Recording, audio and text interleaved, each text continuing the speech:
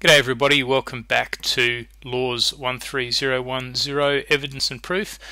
I'm Anthony Marinac and this week with the topic 9 lecture we're going to conclude our study of the hearsay rule which has uh, taken us three weeks. We're going to look today at a grab bag of different exceptions to the hearsay rule.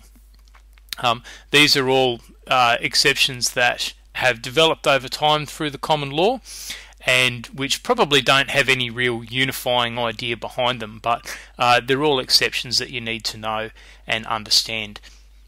You remember from previous weeks that the hearsay rule says that evidence is inadmissible if it is evidence of a third party statement that was made outside the court.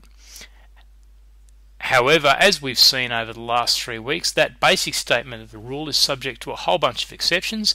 We've so far learned about exceptions in relation to credit evidence, evidence in exceptions in relation to confessions, and exceptions in relation to admissions. And this week we'll learn about the rest. So first we're going to look at uh, the hearsay exception, which applies when the original witness is deceased.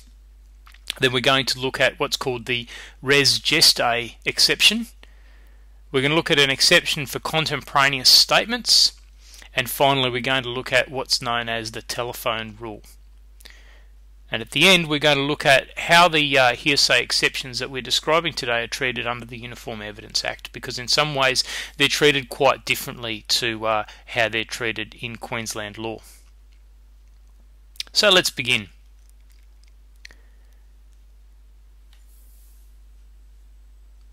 Let's start by looking at the, the uh, exceptions that apply in relation to deceased witnesses. Now you'll remember that part of the rationale for the hearsay rule is that it's not fair to use evidence against a party if they don't have the opportunity to cross-examine the person who made the original statement. Now that leaves us in a really unusual situation where the person who made the original statement is dead. Because on the one hand, of course, there is no way to be able to cross examine the person who made the statement because obviously they're dead. On the other hand, it's still kind of unfair to hold that evidence against a party when the party doesn't have the opportunity to cross examine. So nobody's really going to be happy. So the law's developed some rules that say the circumstances under which the law is prepared to accept the statement of a deceased witness in exception to the hearsay rule. The first one is where the deceased person made a statement against their own pecuniary or proprietary interest. So if the deceased person made a statement which at the time they made the statement they thought would cost them money or would cost them property. So if for instance they agreed to pay a bill or they agreed that they were liable to buy something for someone, or that they'd made a certain promise that they intended to be held to. Any of those statements are against the person's pecuniary or proprietary interest, and they're likely to be held against them. Now, strangely enough, this rule doesn't extend to statements against other forms of interest. In particular, it doesn't extend to statements against a person's penal interests. So, the mere fact that something is likely to, to, to uh, cost them in terms of their legal position doesn't make this a statement against their own interests. The only interests that, that matter are a person's pecuniary or proprietary interests. Can you explain why? Because if you can, please email me. I don't quite understand why um, the law has limited it to just against uh, pecuniary and proprietary interests either. I suspect that this is just one of those accidents of history that come up um, in the common law from time to time. There is an important consequence though. Because you can't accept a statement by a deceased person which is contrary to their own penal interests, you can't use these forms of statements in criminal trials. So this first exception, statements by a deceased person against their pecuniary or proprietary interests, is only available in civil trials. The next sort of statement is a statement under duty. If the deceased person had a very clear duty to make certain observations and report them, those observations would be admissible. So there are two aspects to this. There must be a duty to do a particular act, and there must be a duty to then report on that act after it's been done. You really don't see this one used very often because those parameters are actually quite tight. Actually, they're really tight. And the best way to see how tight they are is to consider the case of the Crown and O'Meally. O'Meally was accused of killing a police constable, shooting a police constable. Once the police constable had been injured, other police attended on him. At this point in time, he still believed he was going to pull through. He still believed that he was, uh, he knew that he was very badly injured, but he thought he was going to end up being okay. He knew who who had um, uh, who had committed the offence against him, and he told other police who it had been. He later died. The court held that this was not a statement under duty, because although the constable made the statement in the course of his duties, he was not under a specific duty to report that person's name back to the police, and therefore it wasn't a statement under duty. It's pretty hard, really, to think of circumstances under which a person really would be under a level of duty that would make this exception apply. The only one that I can come off come up with off the top of my head would be if you had a teacher who had become aware of or had strong suspicions about um, abuse in relation to a child under their care, who informed the principal of their suspicions and then got hit by a bus on the way home that night you suspect, I mean, I would suspect that that would be a statement under duty for the purpose of evidence law.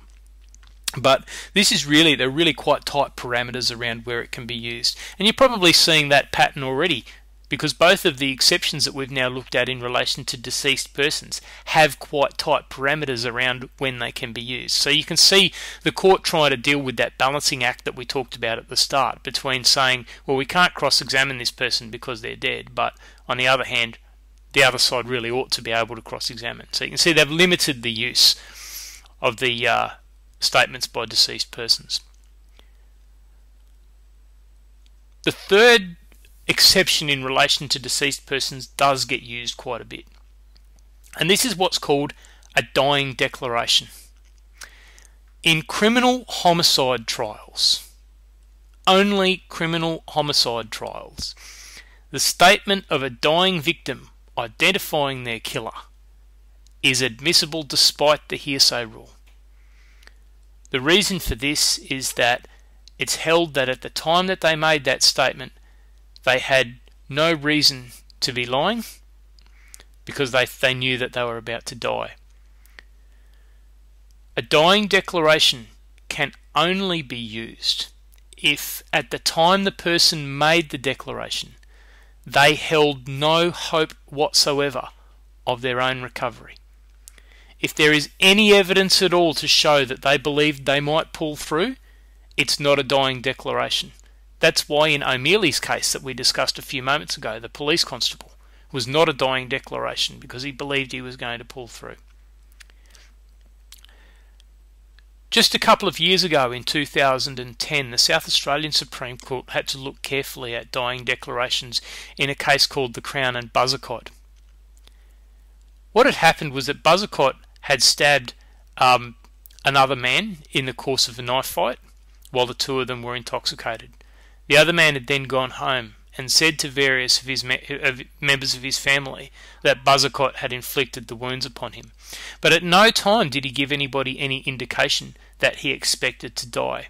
He was taken to receive medical attention and later died. Even though he had very clearly identified his attacker to a number of people, it was held that all of these were hearsay, because at the time that he made these statements, he had no understanding that he was going to die and therefore the conditions which the court believes cause people to tell the truth, i.e., the fact that they can have nothing to gain because they're about to die, didn't pertain because the person believed that they were going to survive or believed that they might survive. Now, I've said in the I've asked on the slide there, are you comfortable with this rule? Is it the case that a person who has just received a mortal wound is likely to give reliable evidence? Personally, I'm not convinced A person who's in that level of distress and who believes that death is imminent may well have many types of things going through their mind. And we can't ask them to come back and put context around their statement. So for me, a, a dying declaration would have to be given in the clearest possible terms to be taken as evidence by the court. But it is open to the court to accept a dying declaration despite the hearsay rule. Um, the final type of, of exception to the hearsay rule relating to statements by deceased people is what's called a testamentary statement. Testamentary statements come up in cases where a will is being contested. Where there is a contest over a will, statements of the testator can indicate what the state of mind of the testator was at the time they made their will. Now, for those of you who haven't done succession law, this might be difficult to get your head around. The evidence can only be used to indicate the testator's state of mind. It can't be used to override the actual provisions of the will. If there is a will in existence, then that will is what the court will enforce. But there are some circumstances in which the state of mind of the testator, that is, the person who's, who made the will, can be relevant to whether the will should be um, should be executed or not. So, for instance, if there's a person who believed on good grounds that they would be a beneficiary under the will, and then the will comes out and they find that they're not a beneficiary under the will, the state of mind of the testator can be important because the court will determine did the testator actually deliberately decide not to give this person anything? Or were there circumstances in the testator's state of mind that made them simply omit or forget or unreasonably refrain from giving that sort of a gift? Let's have a look at the case Hughes and the National Trustees. Now, look, this is quite a complicated case to read, um, and uh, if, if you do read it, it'll probably get your hackles up in the way that it does mine because I think the case had the wrong outcome. But what had happened was that uh, Mr. Hughes had been living on his father's property for many years because Mr. Hughes was essentially a layabout. He was unable to um, hold down a job, and so instead he ran an unsuccessful farm whilst living on his father's property rent free. His father indicated to him that eventually the property would be his anyway. The father died, and uh, Mr. Hughes's mother um, started getting on in age, and she came to live with Mr. Hughes and his de facto wife. The mother and the wife didn't get along very well at all, and in the end, the mother moved into a residential aged care facility. Indicated to everybody that she didn't like um, her husband, her son's um, wife at all, and uh, she then um, died, and her will gave the substantial portion of her estate, including the farm, uh, to um, a charity. Hughes made a claim under what's called family provision legislation, which is that where a person is unable to fend for themselves economically, then their parents have a responsibility to uh, leave appropriate amounts of money for them in their wills. Strangely enough, this can be applied even to somebody like Mr. Hughes, who was in his 40s at the time that his mother died. The court found in the end that statements which Mrs. Hughes had made before her death about the distaste that she had for her son and his wife were relevant to reading the will, even though they were hearsay. However, on other grounds relating to family provision legislation in New South Wales, the court found that Mr. Hughes was entitled to keep the farm.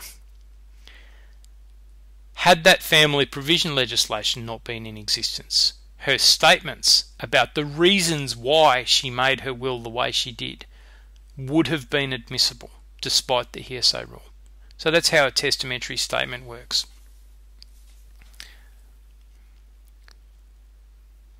Now, I want to switch for a moment from the common law as it applies in Queensland to the Uniform Evidence Acts for a moment. Because the Uniform Evidence Acts deal with this whole question quite differently. The Uniform Evidence Acts have rules for witnesses who are unavailable. So this is not just deceased witnesses. These are witnesses who might be unavailable for any number of reasons. So um, they might, for instance, be incompetent to give evidence, whether temporarily or permanently, or they might be um, away from the jurisdiction to the point where it's not going to be reasonable to bring the person before the court. In those cases, for first hand hearsay only, Statements by that unavailable witness may be described to the court by a person who saw or heard or otherwise perceived the representation being made.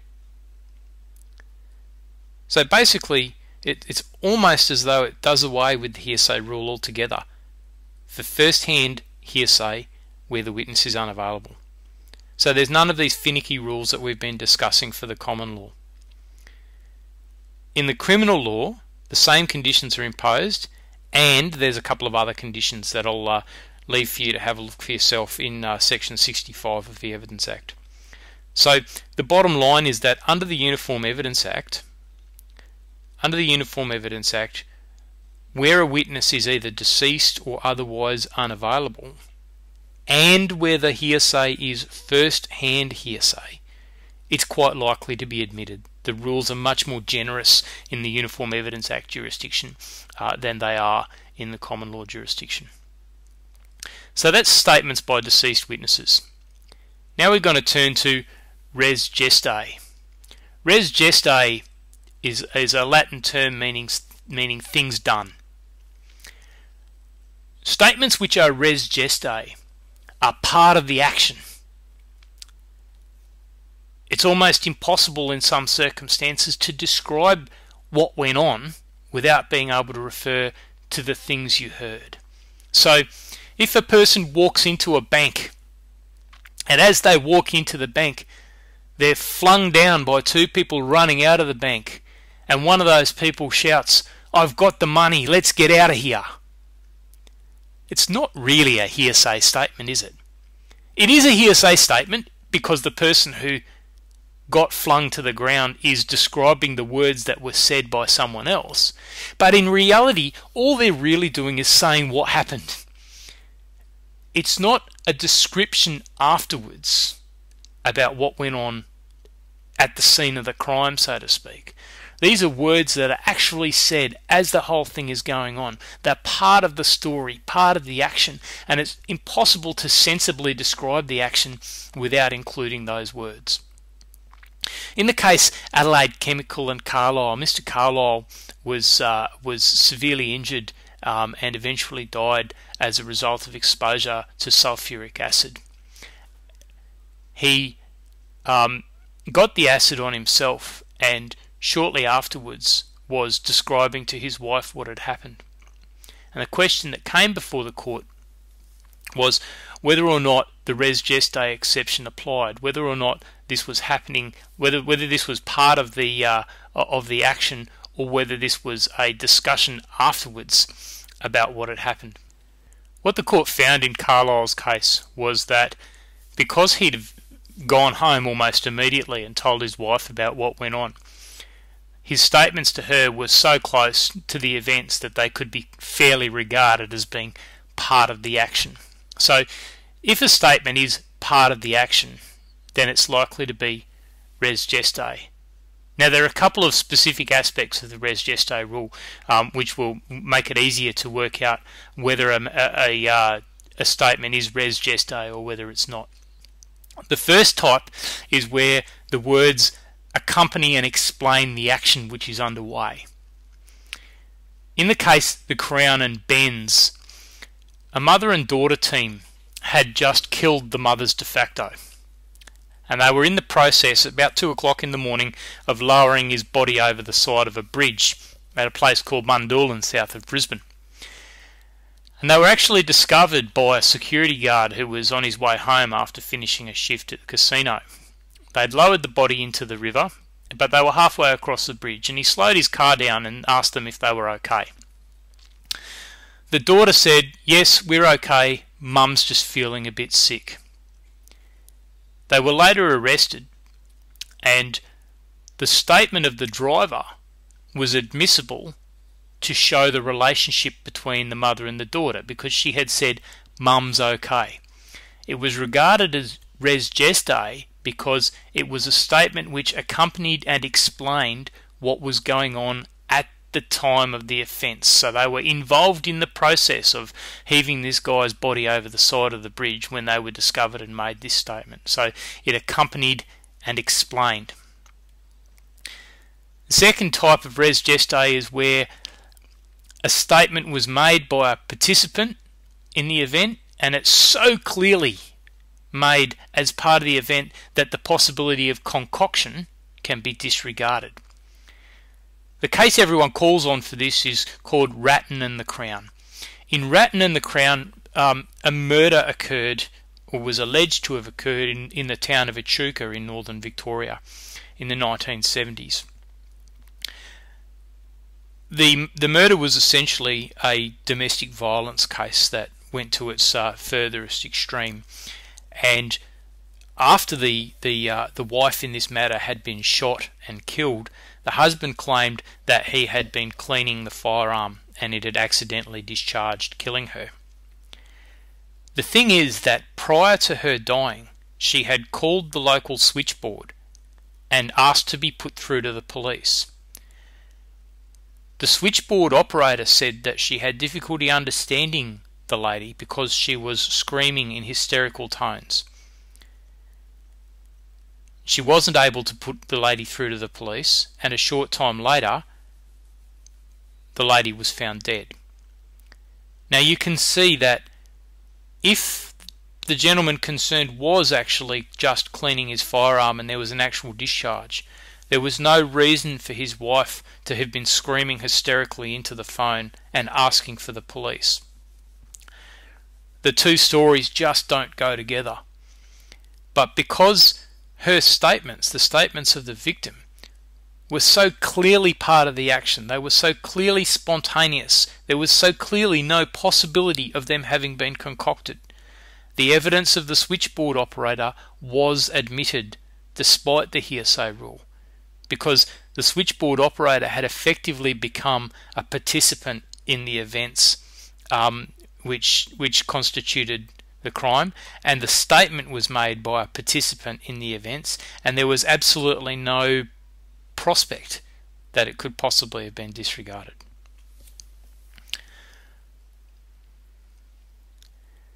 The next type of res gestae exception is a statement which indicates a person's contemporaneous state of mind.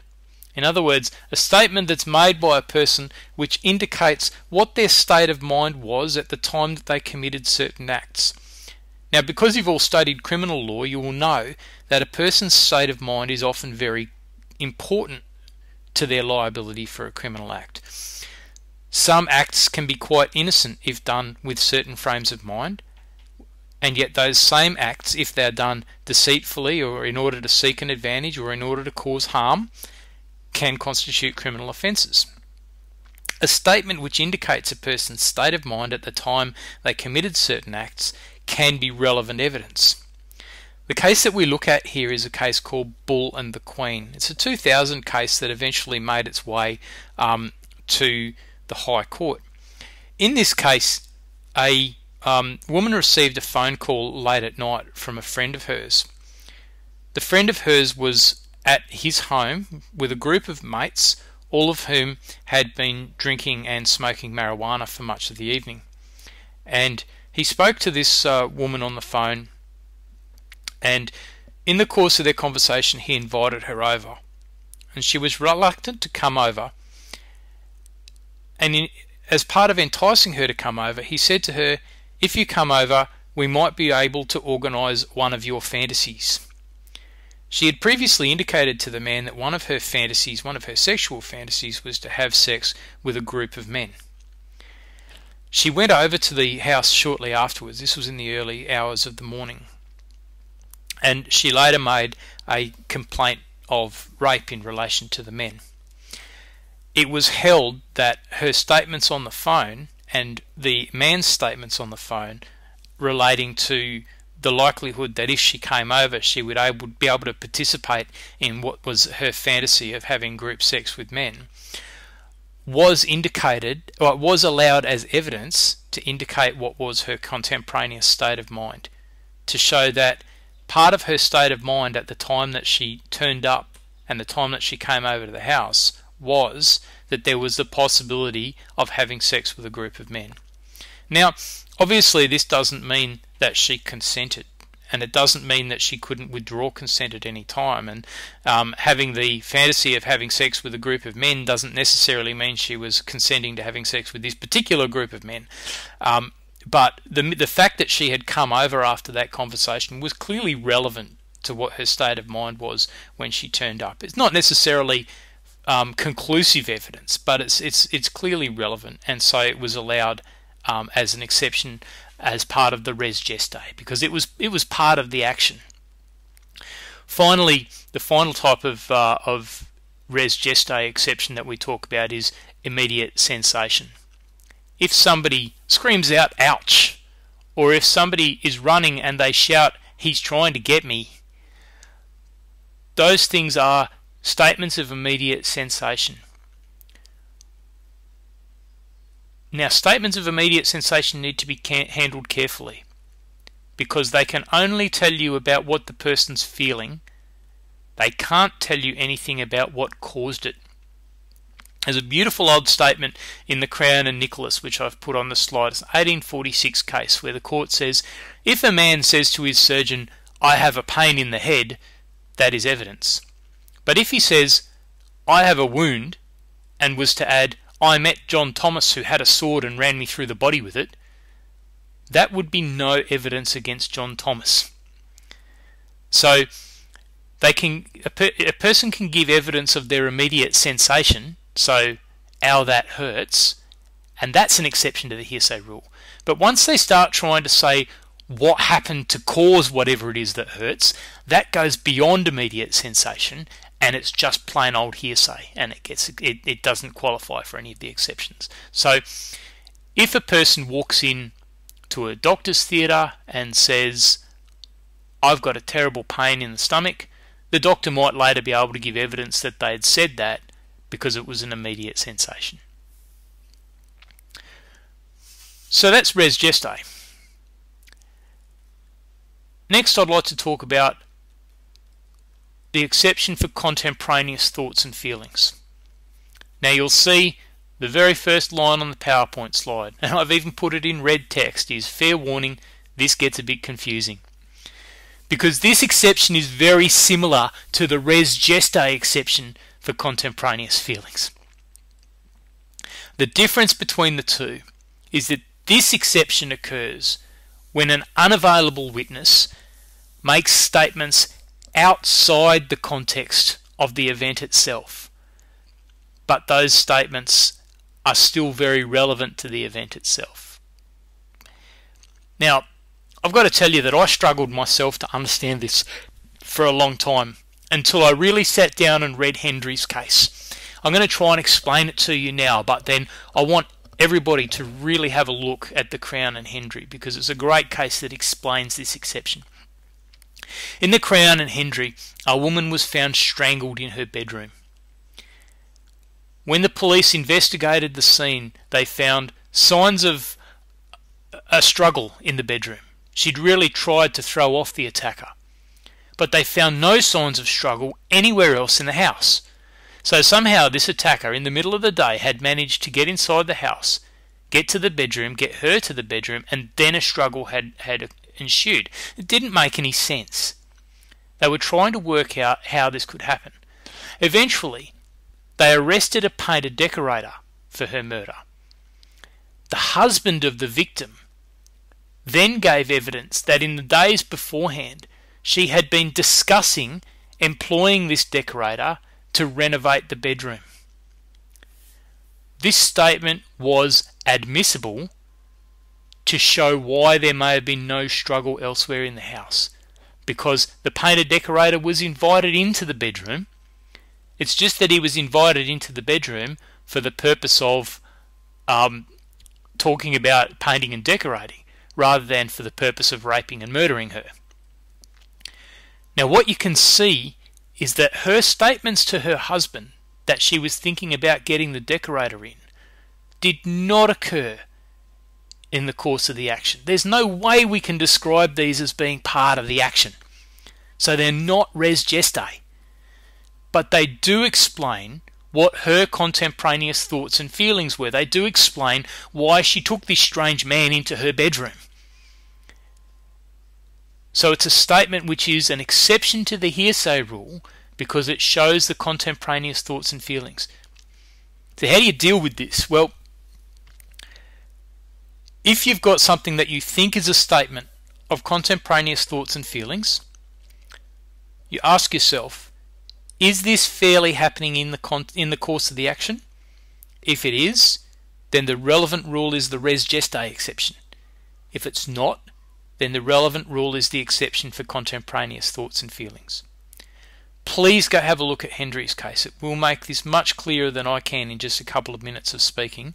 And these two concepts are very close. The only distinction between them is whether the event whether the statement happens in the course of the action.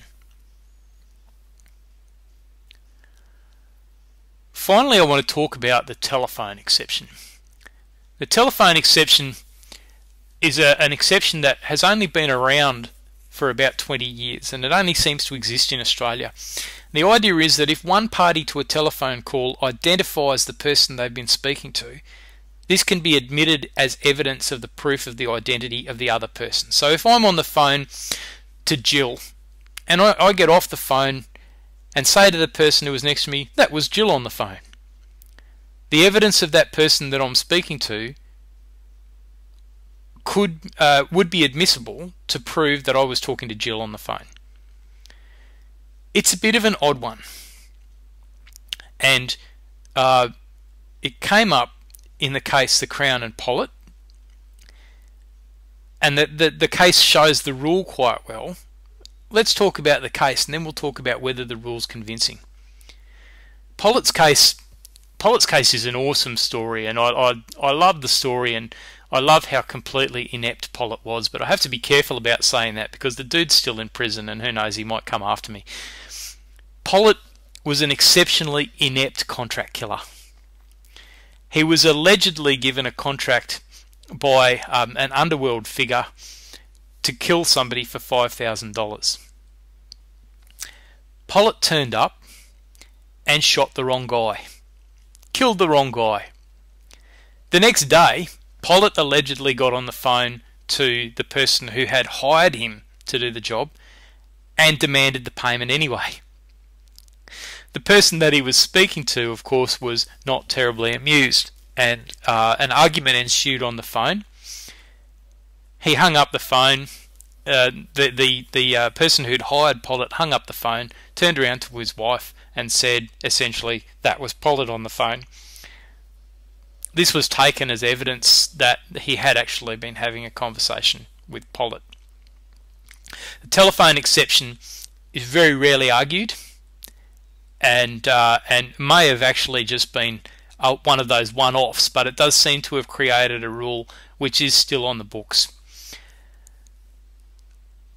I'm not sure how convincing the telephone exception rule is for a couple of reasons. One is that there's always um, the possibility of impersonation. Two is that the rule was created in 1992. Now, for those of you who are a lot younger than me and who have difficulty remembering back as far as 1992, 1992 was around about the time that um, car phones and personal mobile phones were just starting to become um, available for people who had a lot of money. Mobile networks were very, very limited and very, very expensive. Probably at that point in time, 95% of telephony was still fixed line to fixed line. That's the circumstances when the rule was made. Nowadays, everybody is carrying a phone on their person at virtually all times. And there are new technologies such as SMS messaging, which was simply unheard of in 1992.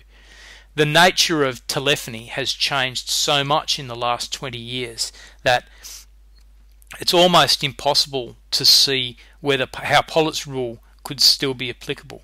Things like caller identification was um, it was just fantasy in the early 1990s. It was not a technology that was uh, that was really even comprehensible. Um, the idea of putting a trace on a phone to find out you know which number was calling was still very big in police uh, TV dramas back in the early 1990s. So whether or not this rule is one that is going to last the test of time is really highly dubious. But as it stands, the telephone exception is still there. Most of the time, though, I would say you can find better evidence. Now, that is the end of the exceptions that relate to the common law rules. I want to take a few minutes though to talk about um, exceptions that come out of the Uniform Evidence Act. Most of the stuff in the Uniform Evidence Act is pretty similar in its effect to uh, the common law, but there are a few things that we need to know that are different. And the first is Section 60. Section 60 states that if evidence is introduced to the court for a non hearsay purpose, it will be available subsequently also for hearsay purposes. Let's unpack that a little bit. At the start of our discussion about hearsay two weeks ago, we talked about hearsay and non hearsay uses. Remember Subramaniam's case. In Subramaniam's case, his statement that the bandits had said, We are Chinese communists and we will kill you if you don't come with us, it was admissible to show that he heard those words and regarded them as a threat. It was not admissible to prove anything about the people who said it. So there was a hearsay and a non hearsay purpose. What Section 60 says is if you introduced that statement for the non hearsay purpose, of saying these are the words Subramaniam heard and he heard them as a threat. As soon as they're validly before the court as evidence, we can do what you like with them. So you could then ask the court to interpret those words as being evidence that these guys really were Chinese communists who were out to kill him. So once the evidence is before the court, it can be used for any purpose, including a hearsay purpose. Now that rule has no equivalent in the common law. This is something that they've come up with brand new for the Uniform Evidence Act. The judge still retains the discretion to prevent this section, section 60 use of the evidence if the judge feels that the prejudicial value of the evidence outweighs its probative value. Now, how do you feel about section 60 now that you've you've got virtually a full understanding of hearsay evidence?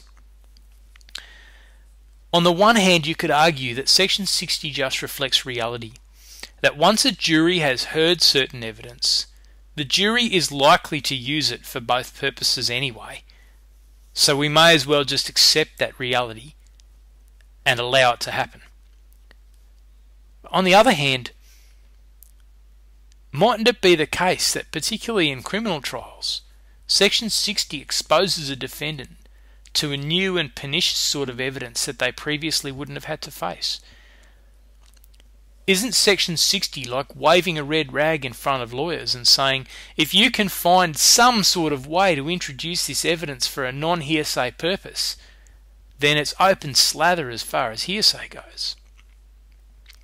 Now, so far, in the in the nearly 20 years that we've had the Uniform Evidence Act at the Commonwealth level, we haven't really seen open slather in that way, and judges have been pretty seems that judges have been pretty good at applying that prejudicial and probative balance, which I suspect is what the legislators were hoping for when they put it in in the first place. But I still think there's plenty of room to bring a critical approach to Section 60 and to ask whether Section 60 might have the effect of injustice by allowing hearsay evidence to be used without qualifying under one of the normal hearsay exceptions. The final difference that I want to talk about with the Uniform Evidence Act is that under the Uniform Evidence Act, if a party intends to rely on a hearsay exception, they have to give notice to the other party first of what the evidence is and that they intend to advise on a hearsay exception, and they have to explain which hearsay exception they intend to rely upon. So the other party can consider whether or not to run a voir dire to try and have the evidence excluded. Unlike Section 60, I think this requirement, which is in Section 67, is an excellent requirement, which I, I think we could validly um, introduce into a common law state like Queensland because it is in accordance with justice and frankly it's in accordance with plain common sense to have parties required to inform other parties uh, if they're going to be doing anything unusual in terms of evidence law. So um, if you are operating in a Uniform Evidence Act jurisdiction and you do intend to rely on a hearsay exception, you are going to have to follow whatever the rules of court are for that particular court about providing notice to the other side that you intend to rely on hearsay evidence. So there we are. Over the space of three weeks, we've gone into hearsay in quite a bit of depth. We've looked at what the hearsay rule itself says, and we've looked at the various exceptions which really bring the hearsay rule to life. Today we've talked about hearsay exceptions that allow some deceased uh, witnesses' statements to be admitted. We've talked about the equivalent provisions in the Uniform Evidence Act which relate to unavailable witnesses. We've talked about various aspects of res gestae, the res gestae exceptions which apply to words which were part of the action. We've talked about statements which are not res gestae but which nevertheless demonstrate the thoughts and feelings of the witness. That's Hendry's case. And finally, we've talked about the telephone exception, which allows the identification of a party to, the tel- to a telephone call. And we've wrapped it up with some additional provisions under the Uniform Evidence Act. Hearsay is probably about as complicated as it gets in terms of evidence law. It is a complicated concept mainly because of the number of exceptions that have to apply, and as you've seen, sometimes there are exceptions to those exceptions. I have to give credit though to some um, students in the United States of America because they took the American hearsay exceptions, which all apply under Section 806 of the relevant law, and they enacted those hearsay exceptions using Lego characters. And so instead of sending you to Hollywood this week, I'm going to send you to YouTube and ask you to watch what these American students came up with. Bear in mind that it's US law rather than Australian law, but it's actually pretty close. I hope you have as much fun looking at it as I did, and I'll look forward to talking to you again next week uh, when we'll talk about opinion evidence.